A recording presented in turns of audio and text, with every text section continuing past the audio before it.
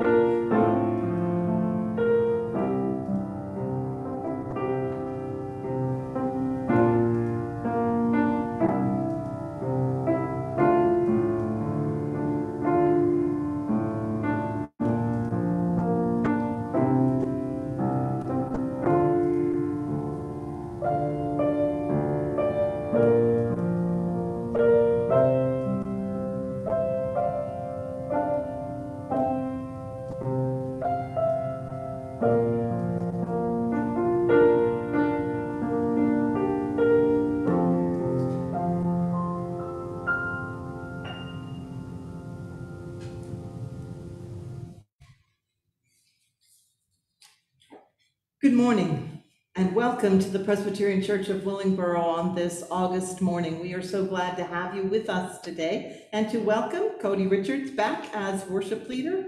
Good to have you with us too. Thank you. Wonderful to see you all restored to health and all the rest of it. So we are excited this morning to worship God together. At this time, I want you to make whatever sign is appropriate in the space where you are worshiping this morning, but we will exchange God's peace. Here we do jazz hands, jazz hands. Let us prepare our hearts for worship. Speaking the truth in love, we must grow up in every way into Him who is the head, into Christ, from whom the whole body, joined and knit together by every ligament with which it is equipped, as each part is working properly, promotes the body's growth in building itself up in love. Let us now hear the call to worship. Morning, everyone. Uh, I just wanted to, ooh, a little close to the mic.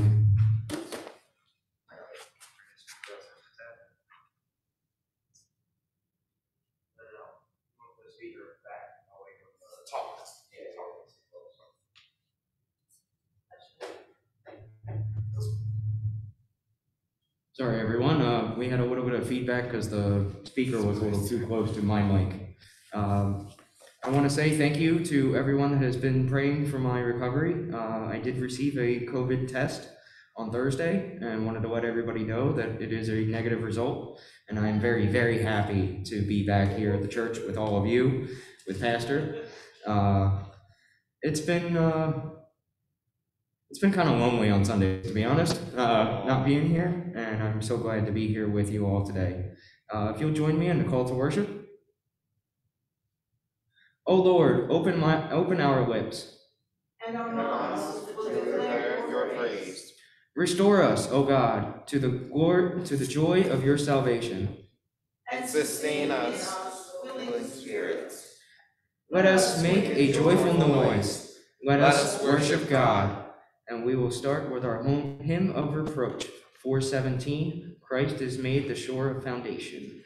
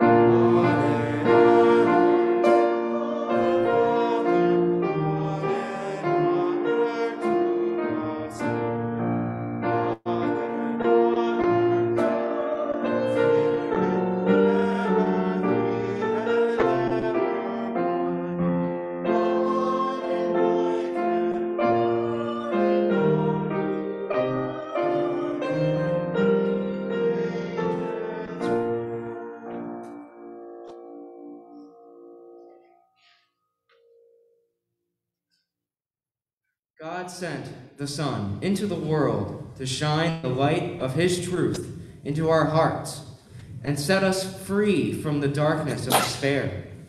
Let us confess our sin and open ourselves to God's gracious forgiveness in Jesus Christ. Please join me in the unison prayer. Lord, you have called us to be light for the world, yet we often find ourselves hiding this light selfishly keeping it to ourselves. You present us with many ways to do your will and to share your word of truth with those who need it desperately. Why do we remain silent? Why are we afraid to speak? How can we, who are children of grace, refuse grace to others? Help us to hear your call to repentance Turn our hearts back to you. Give us courage and determination that we may share your truth and love to the world.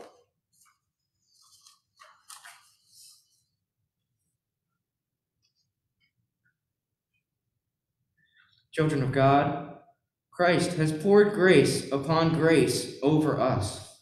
Receive Christ's grace in all its fullness and believe the good news of God. In Jesus Christ, we are forgiven.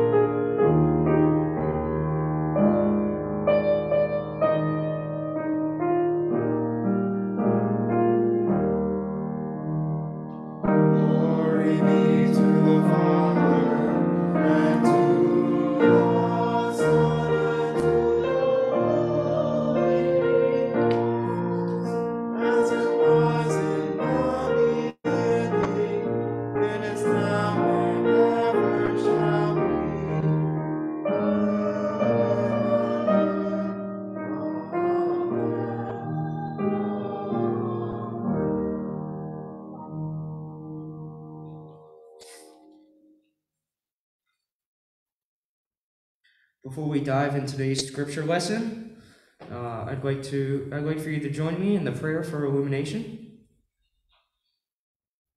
Holy Spirit, dispel our darkness, pierce the clouds of nature's night. Come, O source of joy and gladness, breathe your life and spread your light. Amen. So this morning's first scripture lesson is taken from the book of Psalms, Psalm 51, uh, verse, uh, starting at the beginning and going through verse 12. Listen now for the word of God.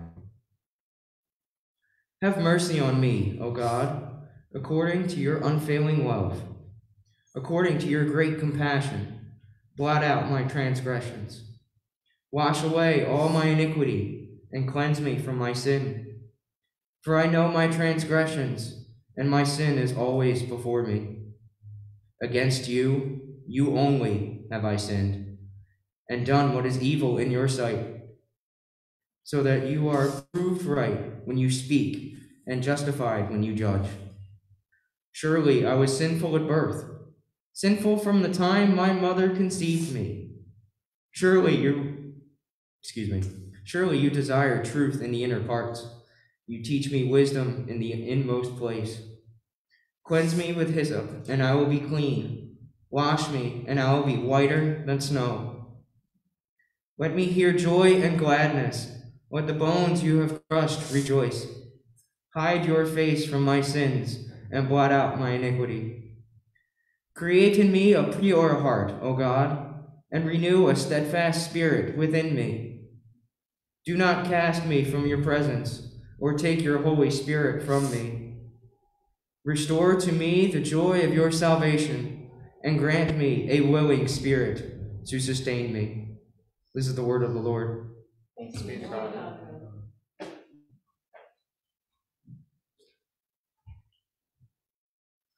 Our section, second scripture continues our study of Paul's letter to the church at Ephesus.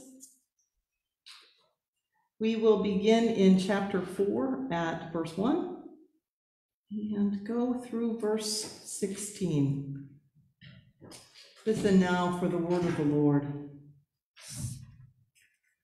I, therefore, the prisoner in the Lord, beg you to lead a life worthy of the calling to which you have been called, with all humility and gentleness, with patience, bearing with one another in love, making every effort to maintain the unity of the Spirit in the bond of peace. There is one body and one Spirit, just as you were called to the one hope of your calling one Lord, one faith, one baptism, one God and Father of all, who is above all and through all and in all. But each of us was given grace according to the measure of Christ's gift. Therefore, it is said, when he ascended on high, he made captivity itself a captive. He gave gifts to his people. When it says he ascended, what does it mean but that he had also descended into the lower parts of the earth. He who descended is the same one who ascended far above all the heavens so that he might fill all things. The gifts he gave were that some would be apostles, some prophets, some evangelists, some pastors and teachers to equip the saints for the work of ministry for building up the body of Christ until all of us come to the unity of the faith and of the knowledge of the Son of God, to maturity, to the measure of the full stature of Christ. We must no longer be children, tossed to and fro and blown about by every wind of doctrine, by people's trickery, by their craftiness in deceitful scheming. But speaking the truth in love, we must grow up in every way into Him who is the head, into Christ, from whom the whole body, joined and knit together by every ligament with which it is equipped, as each part is working properly, promotes the body's growth in building itself up in love. This too is the word of the Lord. Thanks be to God. The last time I visited my friend Edna, she was in bed, laid up with what she liked to call the lumbago. And not wanting to entertain the pastor from her bedroom, she asked me to get her slippers for her from under the bed, but to be careful as I went, not to disturb the dust bunnies resting peacefully down there in the dark. Those were her exact words. Be careful not to disturb the dust bunnies. Now, I must say, dust bunnies under the bed are not strangers to me. I know how they work. They're practically indestructible, eternal in nature and in being. Turn your back on them for a minute and they multiply like rabbits. Sweep them up today, they'll be back tomorrow. But Edna was adamant do not disturb the bunnies. So I suckered. Okay, Edna, I asked. I'll bite. What's with the dust bunny farm under the bed? Which, by the way, looks like it hasn't been disturbed in years. To which the widow Edna, 85 years young, deadpanned, Pastor, you know I'm a Bible believing woman, and I've read that on the first day God reached down and took a handful of dust, breathed into it, and made himself a man. You know where this is going, right? Who knows? With enough dust, hey, a woman can always hope. Our faith claims that it is the God spark in each of us that makes what would otherwise be a collection of dust bunnies a human being. Indeed, just as Edna remembered in the second creation account in Genesis, we read that the Lord God formed man from the dust of the ground and breathed into his nostrils the breath of life, and the man became a living being. Not until God breathed the breath of life into this lump of dust did it become what is named in the Hebrew a nefesh hayah, an embodied spirit, an inspirited body. Now, science tells us that human beings are remarkably similar to one another, that in a strand of something like 3.4 billion pearls of organic genetic material, my strand of pearls differs from yours by perhaps one pearl in each thousand. Faith tells us that those 3.4 billion pearls are the dust bunnies out of which we are formed. But, it, but that it is the breath of God that makes us who we are.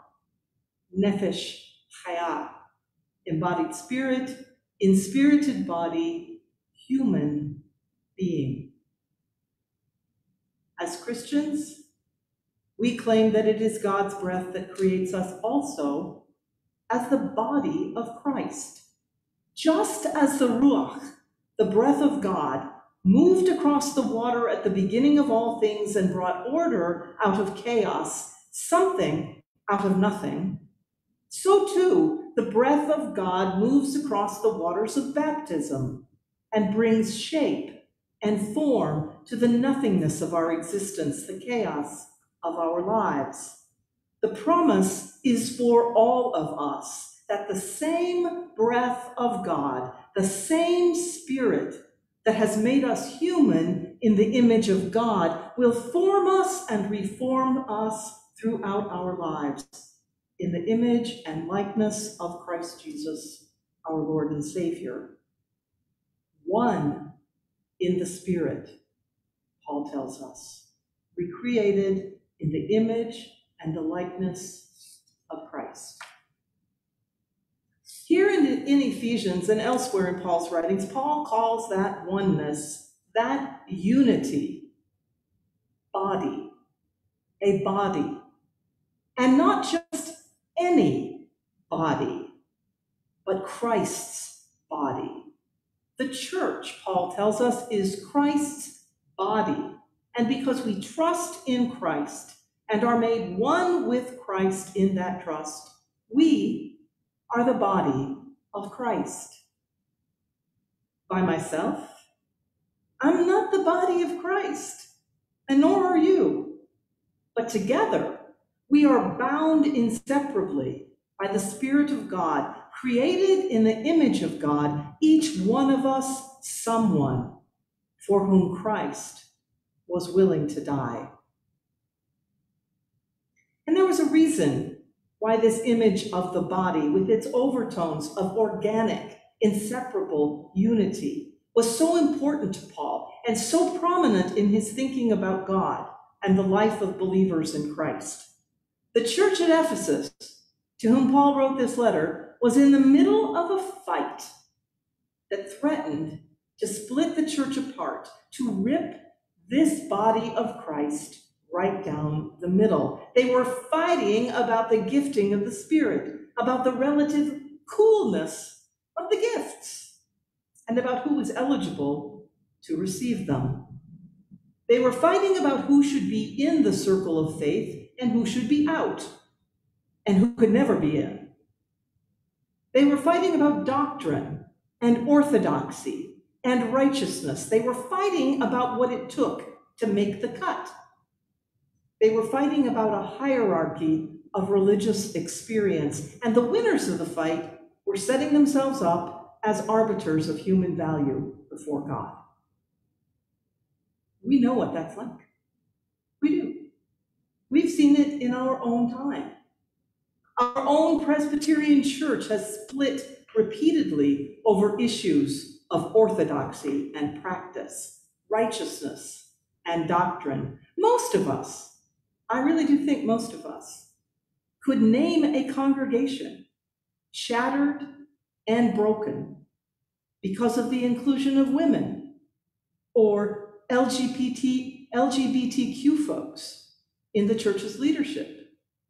Or worse yet, the inclusion of guitars and drums and contemporary music in the church worship. Because you see, that's what happens when good and faithful people look around and decide that they're the only ones who have God on their side that they're the only ones really created in the image of God, that they're the only ones whom God is profoundly for. That's what happens when good and faithful people forget that a foundational claim of the Christian faith is that all life is precious before God, inbreathed and sustained by the very same breath of the very same Creator and gifted by the very same Spirit, exactly as the Spirit of the living God chooses to do. That's what happens when good and faithful people, believers all, forget that they are gifted by the Spirit, not for the exercise of privilege, not because they're better than anyone else, not because they have a corner on the truth but always and only so that they and those gifts might be a blessing to the other guy, to the neighbor, the stranger, the one around the world, to the body of Christ, and to the world that does not yet believe. That's what happens when good and faithful people, created in the image of God, recreated by grace alone in the image and likeness of Christ Jesus, forget that they too were once far off, enticed and led astray by idols that cannot speak. That's what happens when good and faithful people created in the image of God and recreated by grace in the image and the likeness of the risen Lord, forget that the power of God that binds humanity together is far more powerful than any, anything in the world that separates us. That's what happens when good and faithful people forget that the one whom they worship did not discriminate, but in his mercy ate with sinners, folks like us, ate with sinners and healed and touched the lepers, and gathered in the outcasts and welcomed the alien and the stranger. That's what happens when good and faithful people forget their baptism. And the truth that for the baptized, there is no longer Jew or Greek, slave nor free, male and female, for now in the kingdom of God, all are one in the Spirit. We live in a day and a time and a place where those who should know better and do better daily seek to foment hatred and to divide us by race, gender, nationality, religion. You know what? Quite frankly, that's just lazy. That's the lazy way, the easy way. The utterly childish, immature, and irresponsible way. Anybody, anybody can see the differences that separate us. The results of that one pearl of genetic material out of a thousand. The science that tells us that makes us us. Me, me, and you, you. Anybody can see that. Anybody can name that. But, my friends, you and I are not any body. We are the body of Christ, the community of the baptized, gifted by the Holy Spirit to equip the saints for the good of the world that God sent his Son to save. A friend of mine told me not too long ago that business travel, always exhausting, is now in the age of COVID almost unbearable. The anxiety level in airports and on planes, he says, is off the charts. Suspicion and downright hostility toward our fellow passengers is the norm. And people, he said, well, people are behaving like hungry, angry toddlers in the midst of a temper tantrum. His solution? Corny, I know, but prayer. This prayer, specifically. For every single traveler who passes his way, he repeats, This too is one for whom Christ was willing to die one in the Spirit, one Lord, one God and Father of us all, who is above all and through all and in all. No conditions, no exemptions, absolutely no exceptions. This too is one for whom Christ was willing to die.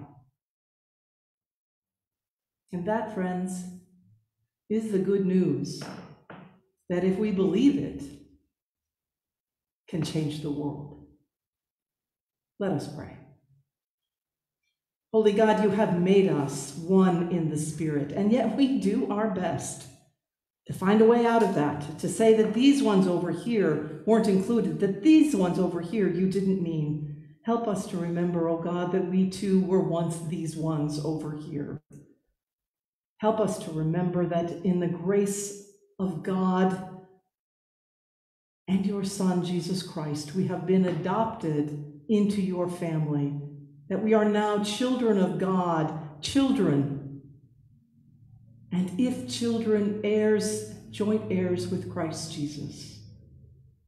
We thank you, Lord God, and ask that you would give us too hearts of mercy and compassion, that we might remember all of us came from that dust. In Jesus' name we pray. Amen. Let us now, friends, join together in singing our hymn of community, the servant song. We're going to sing verses one through four, and then we'll go back to sing the first one again. So it'll be five total verses one, two, three, four, and then we'll sing verse one again.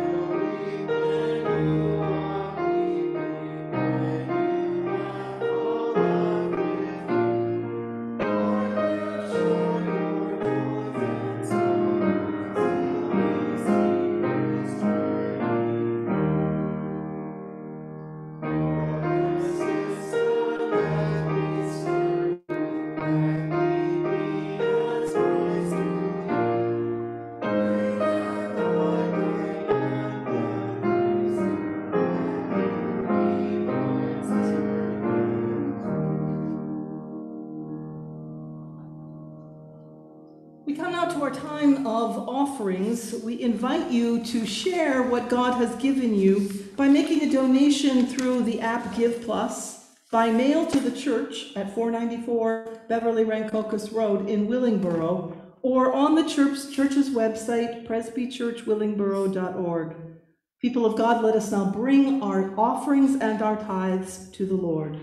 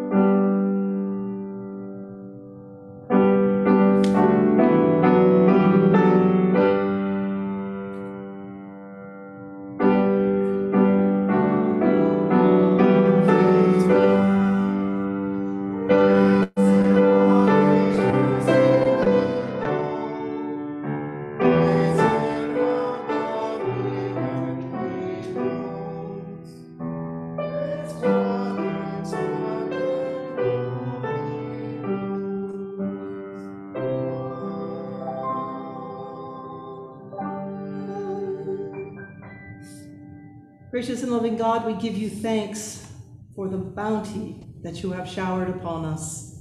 We thank you, Lord, that we are among the lucky ones with a place to live and with enough to put food on the table, that we are among the healthy ones, who are struggling through this season but are making it.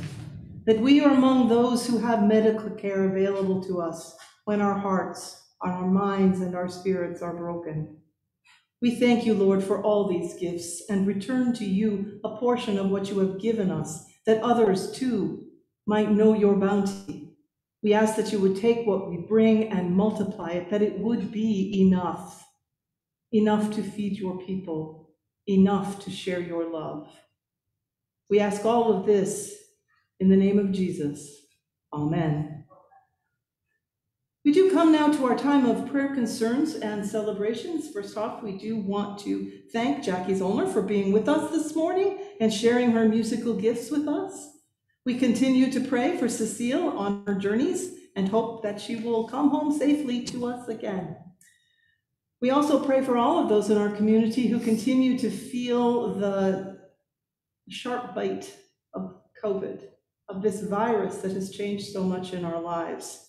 For those who are isolated, we pray that they would have comfort and company. For those who are hurting in body, we pray that they would also be healed. And for those who are struggling economically, we know, Lord God, that in your mercy, you would desire that all would be fed. And so we ask that you would make us for them the hands and the feet of your love. Let us turn now to the Lord in prayer. God of mercy and of grace, you have spoken to us in voices loud and small. We have listened to the best that we can. We ask now that you would listen too to the yearnings of our hearts. God of truth, grace, by the strength of your voice, we have life. Listen now to the depth of our need in that life, to the cries of our hearts. Listen now to the hope of our belief that you are with us in all things. We pray for the church, O God. We long sometimes, Lord, for simpler days. 18 months ago, simpler days. Days when the church could gather, when the church was a part of our daily life and routine. Days when we could be together in the flesh Give us the grace, O God, as we move forward to reclaim the good that is in that memory, and give us wisdom to meet the challenges of this new day to which we have come. As a congregation of your people, keep us dreaming. We want to be a voice for truth. We want to be a place of justice. We want to be a sanctuary of healing and mercy. We want to be a people of nurture where children loud, noisy, and all over the place, are seen as signs of your kingdom.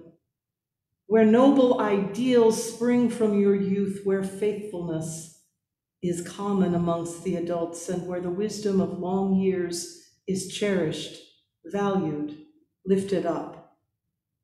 Come, Holy Spirit of Christ, and move among us, that in these days when it is so easy not to be the church, we might continue as your brave and faithful people.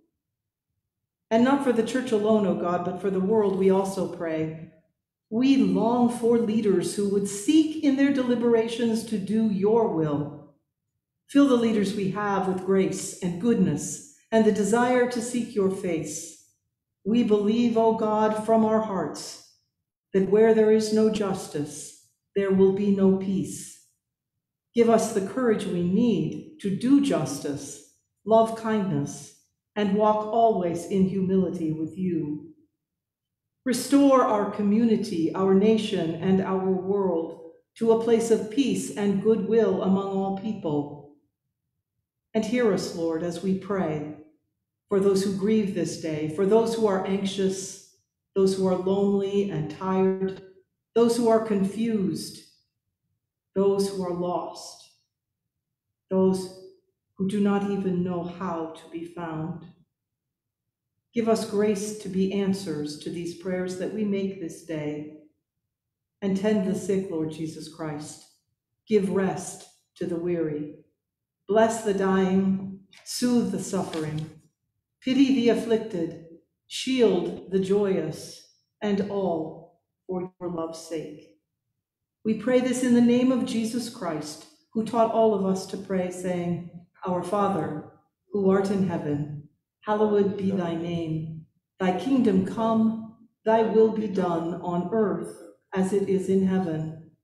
Give us this day our daily bread, and forgive us our debts as we forgive our debtors. And lead us not into temptation, but deliver us from evil. For thine is the kingdom, and the power, and the glory forever. Amen. Let's join together now, wherever we are in this wide world, and sing a hymn of life in Christ. There's a wideness in God's mercy.